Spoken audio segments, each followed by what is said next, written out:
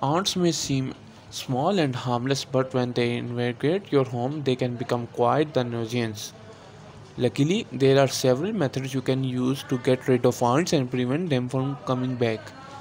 First up, try using vinegar. Ants hate the smell of vinegar, so spray it around areas where you have seen ants.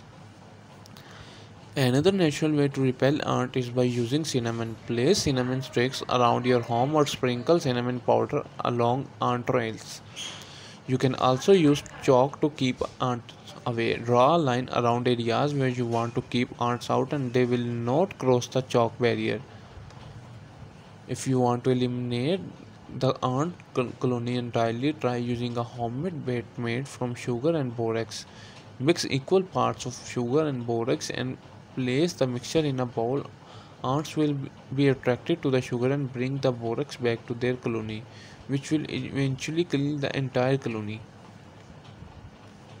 Finally it's important to make sure you are storing your food in sealed containers. Ants are attracted to food so keeping it sealed will help prevent them from coming into your home in first place with this simple method, you can say goodbye to your ant problem and keep your home safe from ant.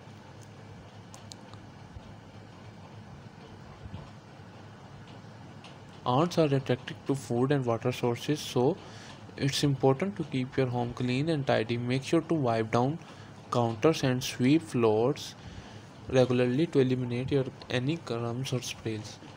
Next, try sealing up any entry points that ants may use to enter your home. This could be gaps in window or doors or crack in your walls. Use caulk or sealant to fill these gaps and prevent any ants from entering. Now let's move on to the small natural remedies to repel ants. One effective solution is to use